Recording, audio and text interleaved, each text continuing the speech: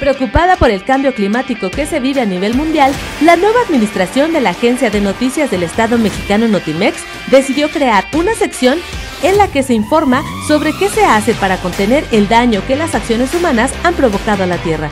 A través de reportajes especiales y coberturas puntuales es como se mantiene a la sociedad informada sobre los altos niveles de contaminación, las especies en peligro de extinción y el trabajo que organizaciones como la World Wildlife Fund realizan. Asimismo, Cambio Climático promueve la protección y manejo sustentable de los lugares naturales más importantes del planeta para concientizar a la población sobre el daño que ha causado el ser humano a la naturaleza.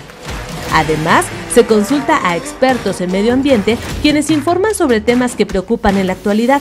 Tal es el caso del uso de energías renovables e incendios forestales. Respecto a los eventos, se ha dado puntual cobertura a las reuniones y conferencias sobre medio ambiente, mientras que en el mes de marzo del presente año se elaboran especiales sobre cómo el COVID-19 ha tenido un impacto positivo, ya que bajaron los niveles de contaminación en el mundo.